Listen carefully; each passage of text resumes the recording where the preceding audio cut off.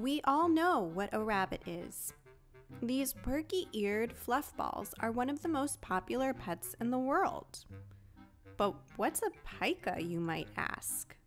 Well, aside from their ears, they pretty much look and behave like a rabbit, and both animals famously belong to the taxonomic order Lagomorpha. Some would even argue if you put rabbit ears on a pika, they wouldn't look so different after all. Pikas are also stinking cute and often lumped together in the same sentence as bunnies. But why? In this video, we will be discussing the main differences between the rabbit and their distant cousin, the pika.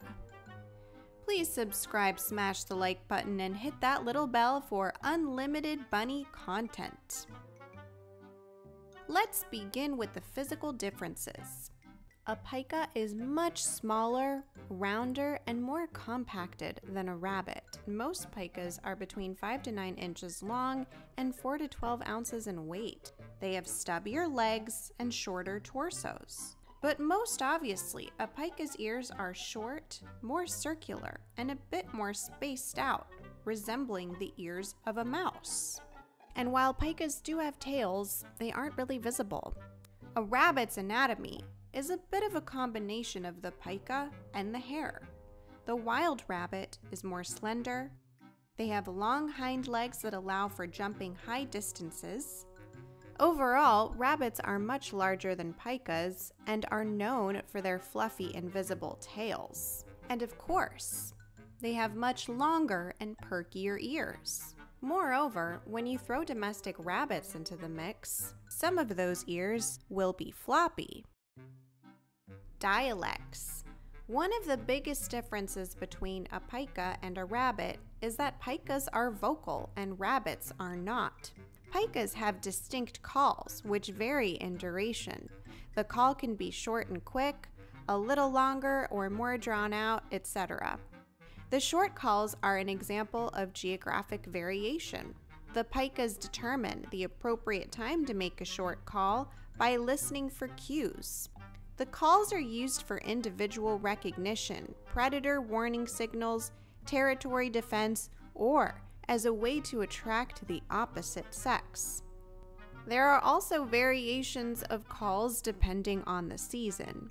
For example, in the spring, songs become more frequent during the breeding season. Rabbits, in contrast, are fairly silent animals. In fact, you might never get a peep out of your pet rabbit for the duration of their existence.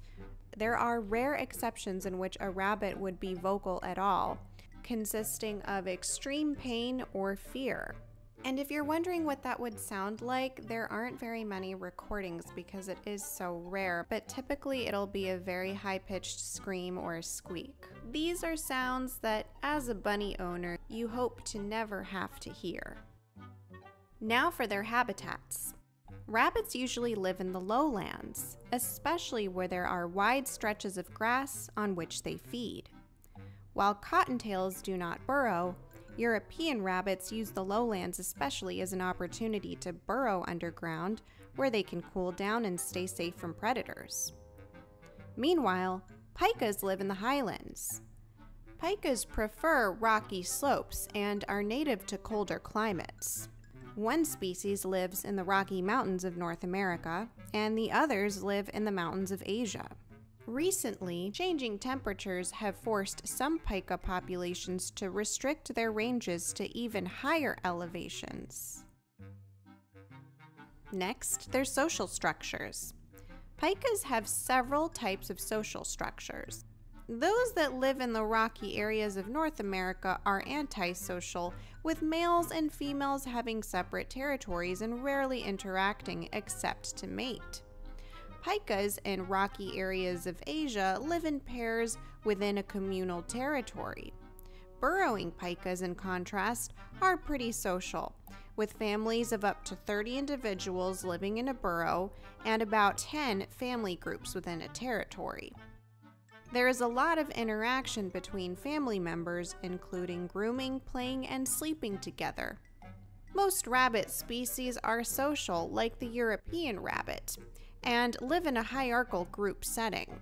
They'll live in warrens or colonies of up to 6 to 12 rabbits controlled by a dominant male. The warren consists of a maze of burrows and chambers. In contrast, the American cottontails are pretty solitary, like the hare, although they will often graze together and are not territorial.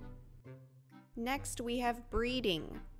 Pikas breed in the spring, with peak breeding occurring in May and early June. Female pikas reach sexual maturity at about one year of age. American pikas breed twice yearly during the same breeding season. Rabbits, on the other hand, don't have a breeding season and basically will breed whenever they want, however many times they want, as long as there is a female available to carry the babies. Rabbits also become sexually mature much earlier, at around 4 months for the males and 5 months for the females. This is why the expression breed like rabbits exists because rabbits are known for reproducing in large quantities very frequently. So, can pikas and rabbits be friends? I mean, maybe, but the truth is that because they live in such different habitats, it is unlikely that the rabbit and the pika would even meet. And if they did, they probably would just ignore each other. You might also wonder can pikas be pets? The answer is no. Pikas are not an animal that should be kept as a pet. They need to live in certain conditions that cannot be provided by living in a home with people. They also have not been domesticated. Remember, they are a wild animal, so the likelihood of them having affection for a human would be extremely low.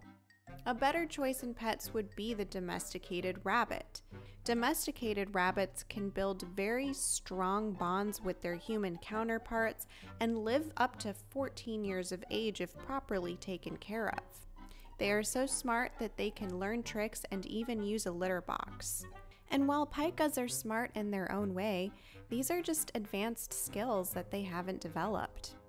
So there you have it, everyone the differences between the pika and the rabbit. You guys seemed to really enjoy the rabbit versus hares video. So if you like more of these kinds of videos, please comment below which one we should make next. And our question of the day is Who do you think is cuter, the rabbit or the pika? Comment below. Talk to you soon.